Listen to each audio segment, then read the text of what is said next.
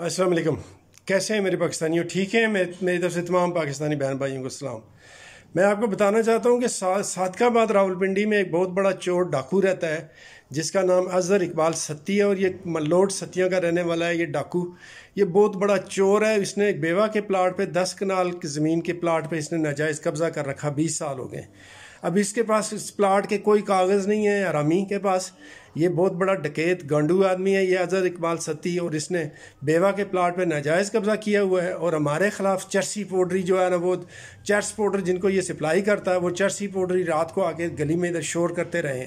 कभी बच्चों को क्रिकेट पे लगा देता है गली में ला के कभी बच्चों को मस्जिद के बच्चों को छत पर चढ़ा देता है, उधर जाके वो पटाखे मारते हैं, ऐसा कोई शैतान सिर्फ़ ये दिंदा है, ये मुछड़, ये बदबूदार, ये गांडू, ये अजहर इकबाल सती, ये इसको शर्म गैरत नहीं आती इस दल्ले को ये एबटाबाद के दो कार चोर डकेत हैं, बंडा गजन के नैयर सुल्तान आमिर अज़ीज़, एक जाली मेजर बना हुआ था बहन जो।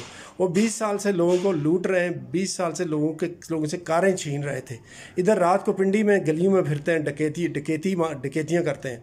और ये डाकू उनके साथ जो मिला हुआ है, अजहर इकबाल सत्ती जो है, ये सादकाबाद रावलपिंडी में जिसने बेवा के प्लाट पर नाजायज़ कब्ज़ा कर रखा है। ये एबटाबाद के दो कार चोर डकेत हैं, वो नैर सुल्तान आमिर अज़ीज़ उर्फ़ जाली मेजर।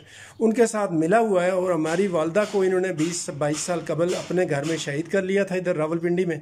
जब इंग्लैंड में मैं स्टूडेंट था और मेरे भाई बहन सारे कनाडा में रिहायश पजीर थे, कनाडा के वो शहरी हैं। तो मैं आपको बताना चाहता हूँ कि इस अजहर इकबाल सत्ती को, जिसका कमेटी से कोई तलक नहीं है, कमेटी वालों ने खुद बताया है और कमेटी के नालियाँ बनाने के, सीवरेज के नालियाँ बनाने के चक्कर में इसने करोड़ों रुपये इसने चोरी किए। ये कमेटी का भी बहुत बड़ा डाकू निकला है। और ये कमेटी के से वो काउंसलर बना हुआ था बहन चो एक जाली काउंसलर बना हुआ था। और इस दले ने ये मैट्रिक फेल है, ये अजहर इकबाल सती मैट्रिक फेल है। और इसको जो है ना, कुछ भी नहीं आता, लोगों को कभी फयाजुल हसन चौहान को लाके वो करवाता है जर से करवाता है, गलियों में। कभी कुछ करता है, कभी कुछ करता है, कभी कुछ करता है। पहले ये नून लीग का सपोर्टर बना हुआ था, अभी ये पीटीआई का सपोर्टर बना हुआ है, बहुत बड़ा डकेत है। चोर डाकू है, गांडू है, बहुत बड़ा। और इसने बेवा के प्लाट पर नाजायज़ कब्ज़ा कर रखा है। और एबटाबाद के दो कार चोर डकेत हैं नैर सुल्तान, आमिर अज़ीज़ उर्फ़ जाली मेजर।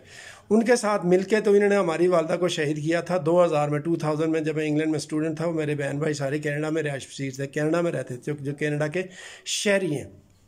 और जन्नत हसैन वल सखीमत चोर, गाँव टंगी, नाड़ आज़ाद कश्मीर।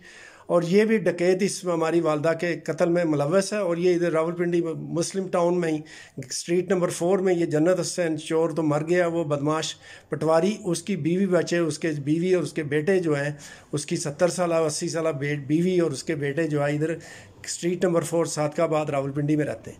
तो मैं आपको बताना चाहता हूँ कि इस बेगरत अजहर इकबाल सत्ती को इसको बेनकाब करें, इसके खिलाफ एक्शन होना चाहिए। मैं आईजी पुलिस पंजाब से भी रिक्वेस्ट करता हूँ और चीफ जस्टिस पाकिस्तान से भी रिक्वेस्ट करता हूँ कि जितने चोर, डाकू, बदमाश लोग हैं, मनशियात, फरोश हैं, इनके खिलाफ एक्शन होना चाहिए। इनको बयानचुदों को इनको अडयाला में भेजा जाए पाँच साल के लिए। Thank you very much all of you have a great time